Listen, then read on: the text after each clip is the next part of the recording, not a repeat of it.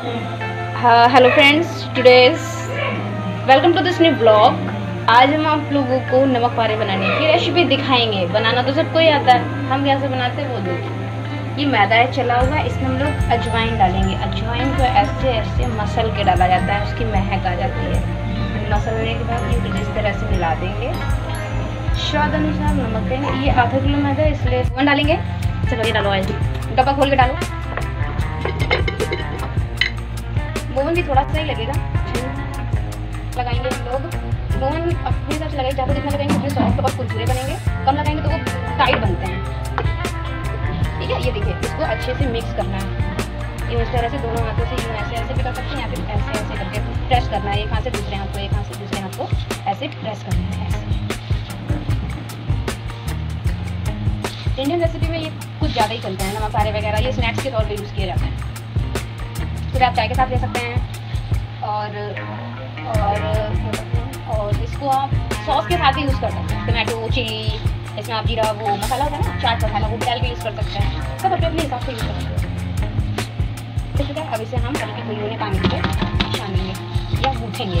गोद लेंगे या मार लेंगे जो आप लोगों की भाषा में बोला जाता है वो तो संभालना बोलते हैं गूंदना बोलते हैं।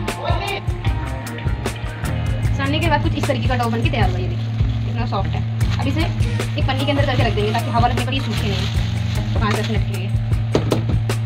Friends welcome to this new blog आज हम आप लोगों को बेसन के घुरबे बना के दिखाएँगे क्योंकि नमकीन। ठीक है? देखिए, सबसे पहले हम इसमें थोड़ी सी अजवाइन ले लेंगे। अजवाइन से महक अच्छी आती है, इसे हमेशा ऐसे हाथ से मसल के डालेंगे इसके बाद स्वाद अनुसार नमक डालेंगे। नमक कम डालिएगा, इसमें ज़्यादा हो सकता है। ठीक है, स्वाद अनुसार नमक डालेंगे अब इसमें हम लोग लाल मिर्च डालेंगे, वो भी स्वाद अनुसार ही डालेंगे।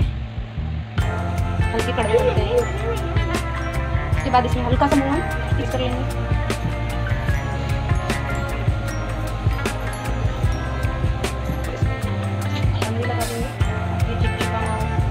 बेसन चिपकने लगता है ना हाथों में, इसलिए इसमें थोड़ा सा मोहन लगाया जाता है।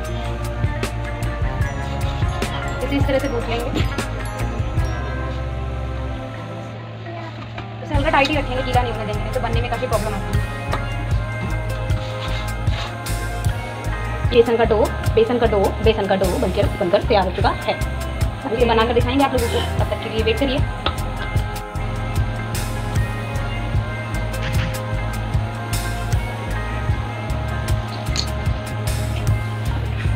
ये है बेसन के।